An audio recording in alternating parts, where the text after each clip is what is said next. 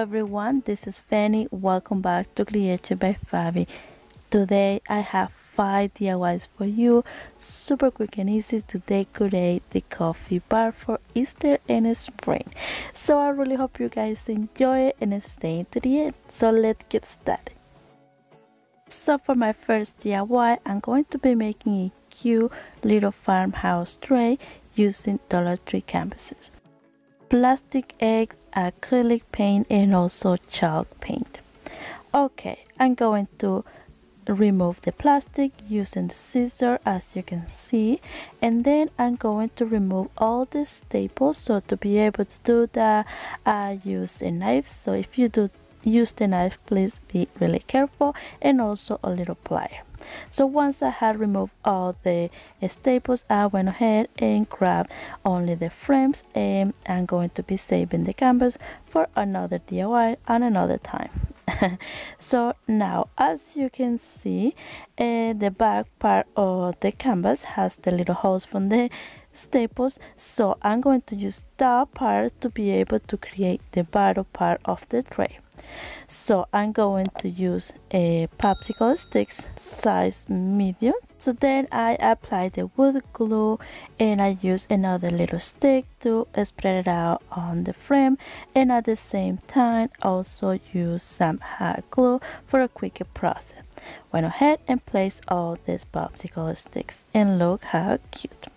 Alright once I had the bottom part of the frame now I'm going to be using the drill and drill some holes on the corner. So mark it down first as you can see and then I'm going to do just halfway.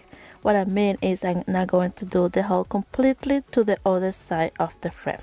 Alright so I did that with the first frame and then with the second frame mark it down and did the holes completely as you can see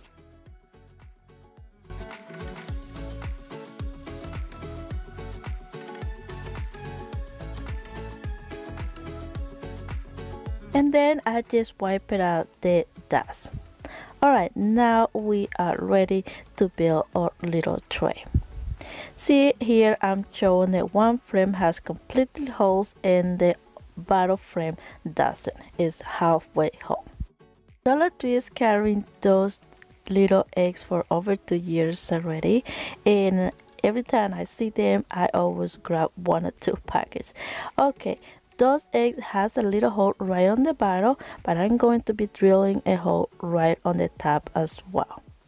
So now all the eggs has the little holes on it and now I have some leftover bamboo skewers so I'm going to use those as a base or reinforcement of my tray so I went ahead add some hot glue place it right on the hole that we did on one of the frames and then put the egg through the skewers as you can see and repeat the same step with the rest of the eggs in each corner.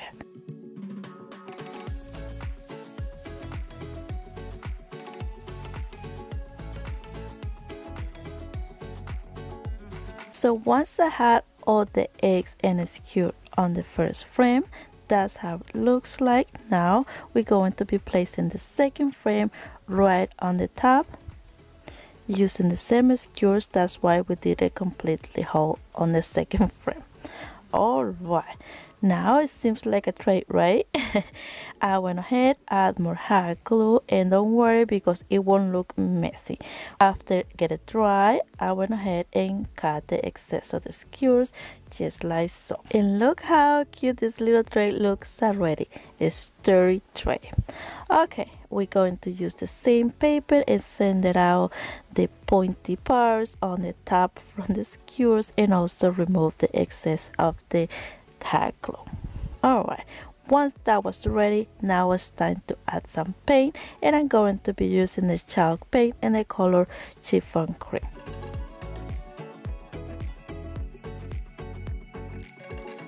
Once the paint was dry that's how it looks like and i just love it at this point. You can just leave it as it is and i think it looks perfect. I was going for a distressing look so i went ahead and used the antique wax and use a little piece of cloth and just wipe it out all over and distress it as I wanted. I also added some of the yellow acrylic paint just to add more texture to the tray. And basically that is it for this one and I think it came out absolutely beautiful. You can use it all year around on the kitchen with different items. It will be just perfect kitchen decor. Absolutely beautiful. But I always want to know what you guys think. So please let me know in the comment down below. Before to move on to the next DIY, today's video is part of the fun collab Follow the Rainbow hosted by Crafty Lenny and also other talented ladies in here. So we also doing a 100 PayPal giveaway. So all you have to do is go and comment on my video and the rest of the videos on this fun collab and you automatically going to be participating so good luck everyone so let's keep crafting for my next DIY, I'm going to be using three recycled jars from tomato sauce and the same chalk paint and yellow acrylic paint. So this project is so quick and easy. I went ahead and give it light coat with the white paint first and then I'm going to be giving really good coat with the yellow paint to the three jars. Just like so.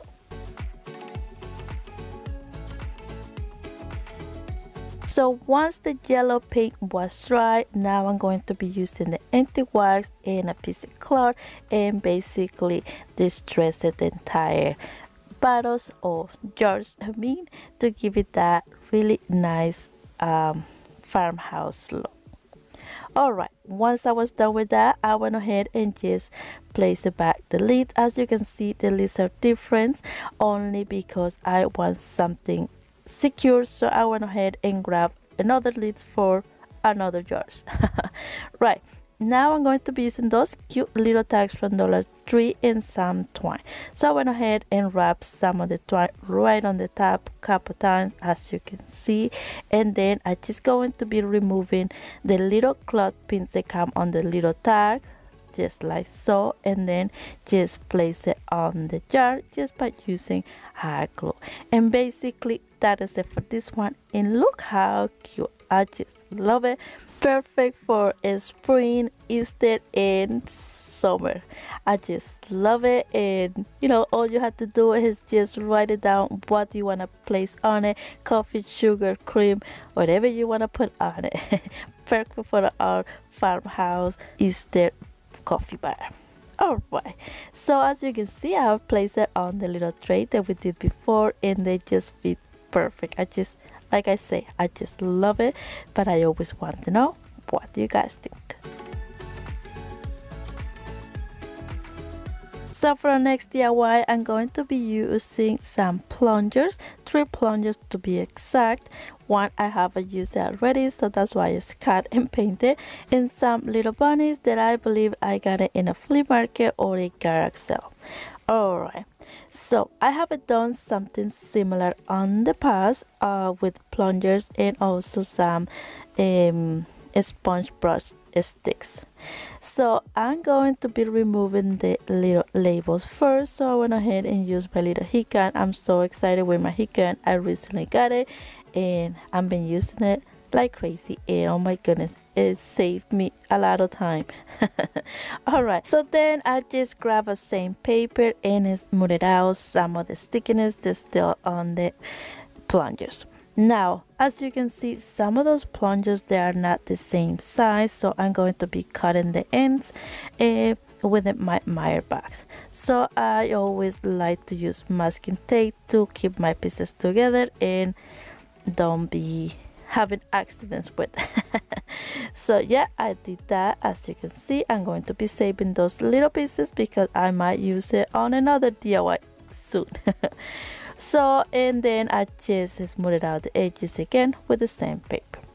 Now i'm just going to be mark it down in some distance in between. I think it was five centimeters each um, to be able to place the middle part now in this case I'm going to be using hot glue but you can also use wood glue or another kind strong glue. But I use hot glue only because I'm going to be using some nails and I thought that was enough in for the purpose that I'm going to be using the little ladder. So but uh, like I said you can always use other kind of glue and will be sturdy so once I had the middle part attached, now I'm going to be adding the nails using my little hammers and voila. I also forget to mention that I have used the drill on one of the middle parts and I create two little holes on it to attach the little hooks where I'm going to be hanging my little mugs. But uh, before that, I'm going to be give really good coat with the chalk paint as you can see. And then I'm going to be repeating the same process that I did before with the antique wax just to distress it and give it that really nice rustic look. Just like so and here I just go back with the leftover white chalk paint because I have heavy hand and sometimes I just add so much paint let me know if you are the same. Okay then I just add the little hooks on it and look how cute. I'm going to leave that ladder on the side just for a little bit and I'm going to be working with these cute little bunnies. And first I just going to be kind of adding some of the chalk paint to blend it out some of the, the original colors on it. So the little bunny is going to have a yellow shirt so I went ahead and just I grab my little brush and paint the little shirts on so I grabbed some of the color gray granite uh, from Apple Barrel and just paint the little uh, tails, the feet and also the ears. And look how adorable! I just love it. And we basically done with this one. All I'm going to be doing is just adding some hot glue and place the right one on the bottom and right on the top. And voila! I just love it. I think it came out so cute. But I always want to know what do you guys think? So please let me know.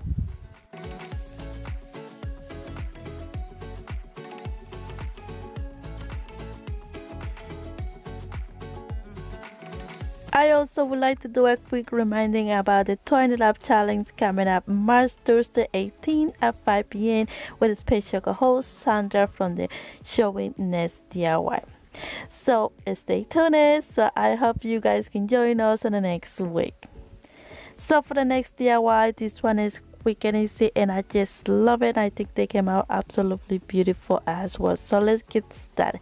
Dollar Tree carried those candle holders for a while in different shapes and different colors and also those pie uh, trays so I have used it before on the previous DIY so now I just going to give it really good coat with this chalk paint and basically match with the same color of the candle hold so I went ahead and attached them with a hot glue but you can also use E6000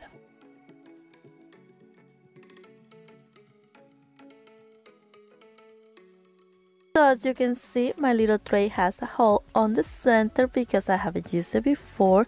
So I'm going to be covered that with this cute little bunny. My friend Maria from Crafting with Maria sent me those calendars that I was so happy when she sent it to me because I haven't been able to find it on my Dollar Tree so I cut the little bunny and then I just going to add some Mod Podge and place right on the center. And look how cute. I just love it. And then I'm going to be using the same yellow paint. And I started just adding some little dots around the edges but then I just did it completely. I also added some of the antique wax and also come back with some of the white paint just to get the distressed look that I was looking for.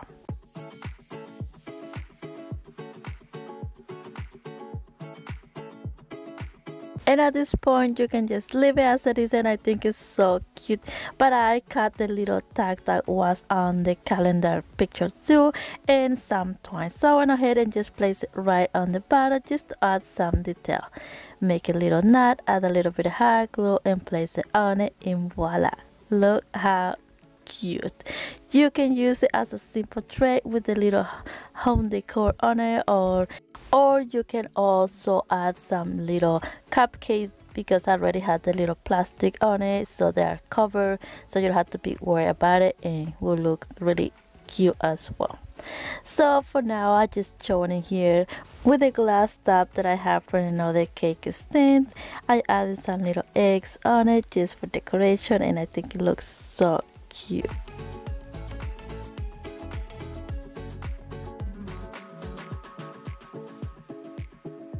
And for my last DIY, this one is quick and easy as well. So Dollar Tree carried those little wooden pallets. So every time I see those, all I think is coasters. So here we go. Let's make a little coaster. So I went ahead and add some chalk paint as you can see distress it with the antique wax just like so and then I'm going to be using one of those little eggs bunny bunny egg and use it as a stencil. So I went ahead mark it down with my pencil as you can see.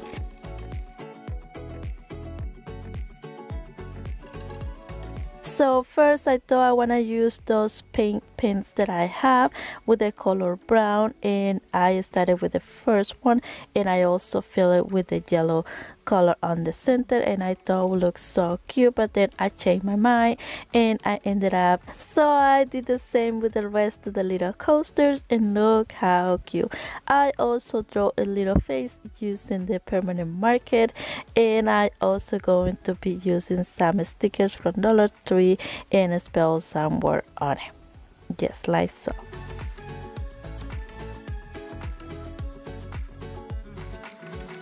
and then I'm just going to be using some Smashbox to reinforce the little stickers on it.